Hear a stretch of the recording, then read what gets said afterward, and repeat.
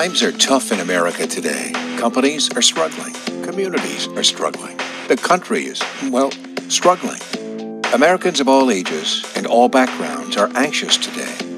They worry about what lies ahead. Many are, well, angry. They wonder how we got from here to here. They didn't cause these problems, mind you, but they are forced to deal with the consequences. They look to the future not with confidence, but uncertainty. And who can blame them? While most Americans believe their own quality of life was better than that of their parents, an alarming majority believe, for the first time in our nation's history, that their children's quality of life will be worse than theirs. They've worked hard and played by the rules, but are left to wonder Will that hard work pay off? Will it provide me and my family the financial safety, security, and peace of mind they deserve? Will it get me from here to here? Will it get me from here to here? Will it get me from here to here? Will it get me from here to here? For many in America today, the answer is no.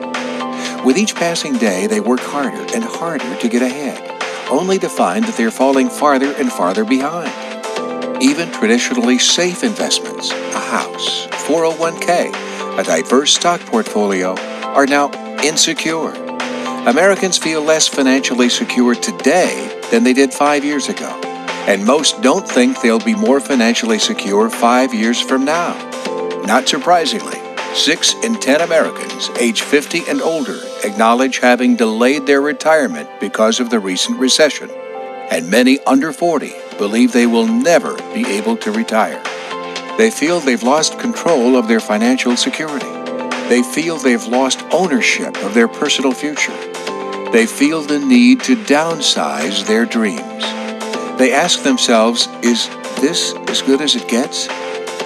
When did life become about obligations and not opportunities? About doing not what you want to do in life, but what you have to do in life just to get by. In life, you can complain about your problems or you can embark on solutions. You can talk about making a change or you can make a change. You can say that my life as it is is not my life as it has to be. Because in life, it's never too late for opportunity. It's never too late to make a change and take control of your life.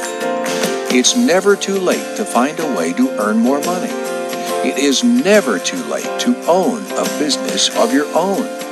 It's never too late to take back your personal and financial freedom.